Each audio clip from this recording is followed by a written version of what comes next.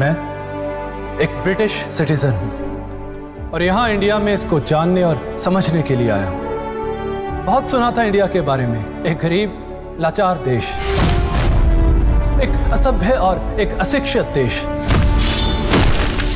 जहाँ पर चारों तरफ़ सिर्फ़ गंदगी ही फैली हुई है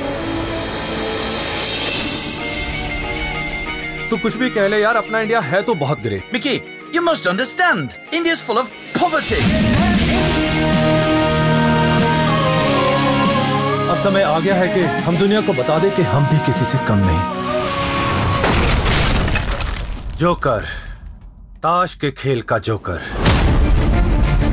हमने कभी भी आगे बढ़कर पहल कर कर किसी देश के ऊपर आक्रमण नहीं किया ये है India. Super Indian super Indian. मेरा करियर बर्बाद भाषण देने से कोई देशभक्त नहीं बनता।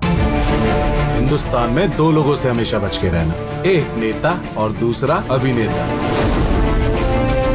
क्या सोच के आए थे तुम? कि तुम यूँ ही आओगे, पूरे देश और सिस्टम को हिलाकर यूँ निकल जाओगे?